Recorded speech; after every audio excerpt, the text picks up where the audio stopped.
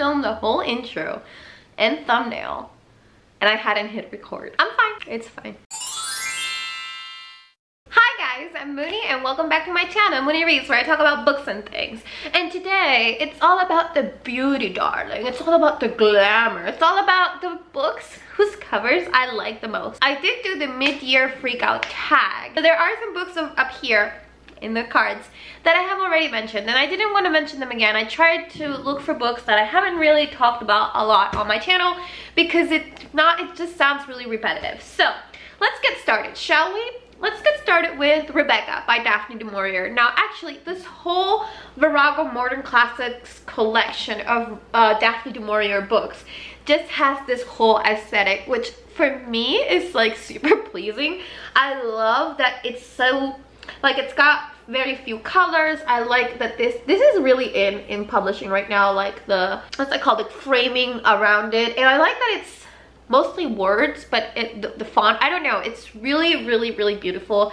And i actually think that it goes really well with the story. This is one of the most beautiful covers that I have. Next up, this book you have seen me talk about before. I mean, come on, you've seen me talk about most of these books before, but To Kill Kingdom. I haven't read this book. This book is apparently about mermaids, sirens, enemies to lovers. I don't know. Um, it, it sounds really good, but what I want to talk about is this like navy with gold Oh, uh, oh, mm -mm. I love it. I also, again, I love how, like, it, it, I, I, don't want to say, like, like not, uh, like, crowded, because, like, of course, this one is super crowded, but I like how simple it is. It's really, really simple. It's a simple cover. It's got the title. You've got a little bit of, like, tentacles. I've been told there are no octopuses in this book, except, like, maybe the, the, the sea queen, but anyway. I just, I really, I really love the color scheme. I love how simple it is and how, like, I don't know, I just, I love this color combination.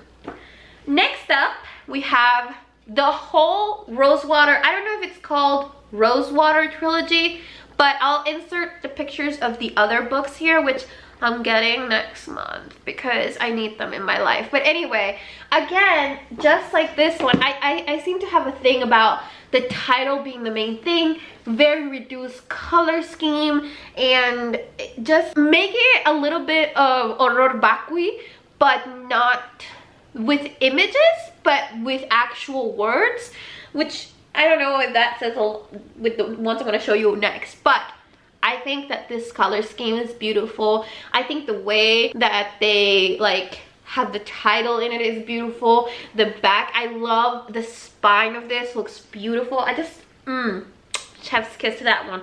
This, by the way, is ecofiction, which basically is where plants take over the world in post-apocalyptic worlds instead of machines. And I think I found my place within fiction and it's eco-fiction. Okay, here's one you've never seen me talk about. And the reason you've never seen me talk about this is because I believe there's no translation for this and this is like such a good book. It took me over a year to read because I was so scared of what was gonna happen, but uh, I, I'm gonna show it to you. It's called El cielo en un infierno cabe. So heaven fits into a piece of hell. That would be like how I would actually translate that. I think this has like such a Frida Kahlo inspired cover. This book is an amazing, amazing story. It's fabulism, which is basically where magic exists in the real world, but it's not urban fantasy. And it's about a secret society of people who are trying to take over the world and the little girl that gets caught in between. And this book is full of such interesting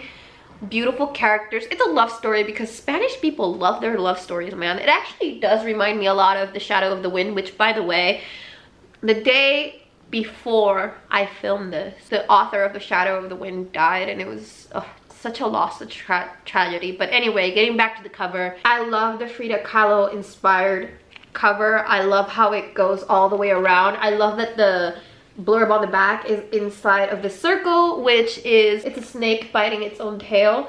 And I just, I love that because that is such, so much symbolism out here is inside the book.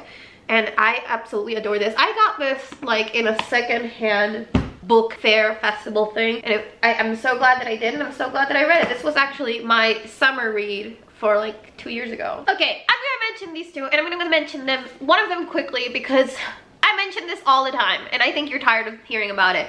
But Magic for Liars. Love this cover again. Love it. Love everything about it. I love the way the title is like put, you know. I love the the like kind of technicolor aspect of it. I don't know if you can see, but the hand has the same like blue and yellow as the rest of the cover. And yeah, I think this is one of the most beautiful covers ever. It just really stands out in my shelf because everything else is kind of like you can see, it kind of all blends in and then you put this baby, this like bright yellow spine there and it's beautiful. I also love the inside. I love that they went with the bright ass yellow that is throwing my um, white balance out of like everything. And then blue letters. Let's see if it will focus.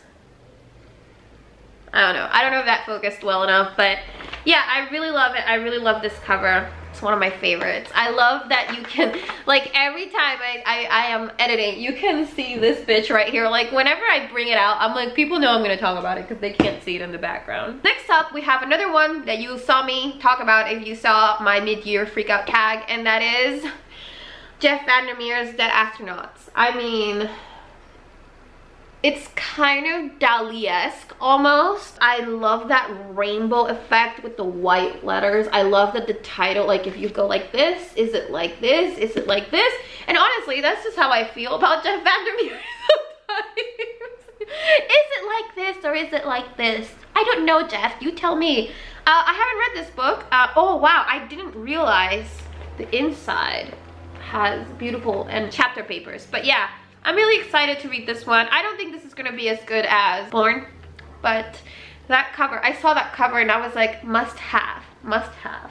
What do we have next? Okay, let's go with this one. This one made the rounds on YouTube a while ago and I never talk about it because, oh, hang on, there's a sticker. I never really talk about it because I'm not sure what to say about it. It's the Essex Serpent and this is horror vacui at its finest. Look at that. There is not a single place on this book where there isn't something. And it it does have some foiling. It um it goes to the to the back. It goes to the spine. It's it's so beautiful. Now this book is interesting to me because there is a friendship in this book that turns sexual but i'm not sure if it's like i want when i read it the first time i was like yes the wife like like the wife gives the, the, the husband like permission because she's very ill. And and the relationship turns sexual and and they don't change. So i thought it was okay but then i kind of thought about it and I, i'm not sure if the wife in the end knows or gives permission or if he just cheated on her. Like i would have to reread this. But the thing about reading this book is this book i actually have a little annotation in here. Where is it? Right here. Beautiful writing. Overall so poetic feels like a dream. Take your time reading it. And I remember I did take my time reading this. I read this like in a month because it is kind of dreamlike. So I wonder if I read that the wife is okay with it and that everyone is happy and okay with this thing or if I didn't read that and I just assumed that. So I don't know. But anyway, with the cover, I love this cover. I think it's beautiful. And I think this book warrants a second read. Next up, we have a non-fiction book. And it's how to Be a Good Creature by Sy Montgomery. Now, if you know me, you know that I love The Soul of an Octopus by Sy Montgomery. And this was uh, uh, illustrated by Rebecca Green. And it's a memoir of thir in 13 animals. Basically, this is a memoir of, of Sy Montgomery, but it's told through 13 animals that kind of changed her life. And look at the cover. It's got all of the animals in it. It's got a little pig, a dog, um, a fox. It's got an, an octopus. She does talk about Athena in this one, which is uh, the first octopus in the soul of an octopus and i just really love this little book and also the illustrations inside. I was gonna get this in kindle edition because it was a lot cheaper but i didn't want to miss out on this. Yeah this is such a beautiful beautiful book. I love the foiling. I love how the title is very clear. I, I just everything about this i love it. Up next we have another book that is not translated to english i'm sorry but still and this is el bosque profundo de sofia rey. Now this is basically Sophia Rey used the idea of tarot cards and created her own tarot deck. And every card has a like myth associated to it. And it, it's like if you could use this one it's like if you could actually read the tarot with this. And and each one has a story to tell. And i just think this book is so gorgeous. Look at it. Like look how all the leaves go right into that center where there's nothing except the title. And look at the end papers. Look at that. Wow. Like that's oof, i love it. I love how simplistic it is. I love the colors.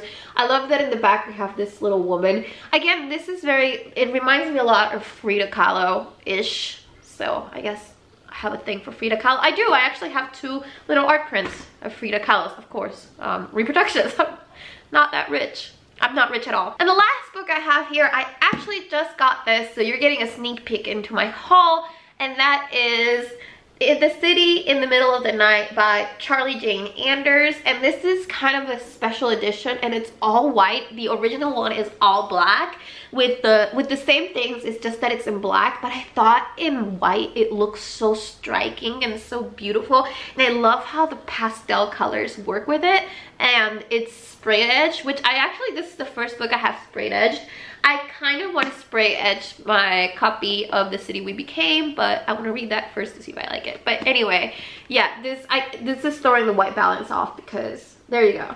Look at that. It's got little stars and everything and, and the colors. I just love this like soft and gentle color scheme. And I love, but this is about a city in the middle of the night, but it's white, so. There you go. Those are my 10 favorite, most beautiful book covers.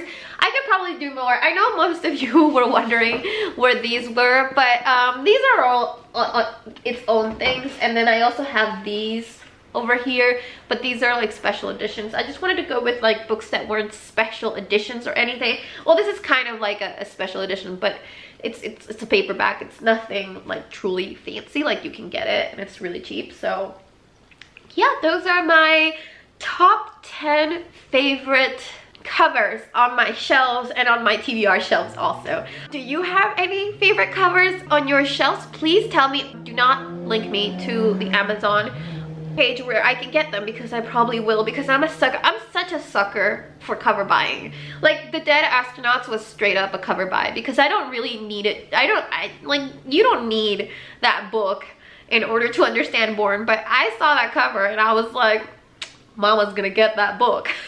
so she did. anyway, guys, thank you so much for watching. Just a friendly reminder that I post videos every Monday, Wednesdays, and Fridays, and sometimes I pepper in videos throughout the week or weekend if I'm feeling a little bit extra. And without further ado, I bid you adieu, and I hope to see you in another galaxy far, far away. Bye, guys. Beautiful covers. Yeah.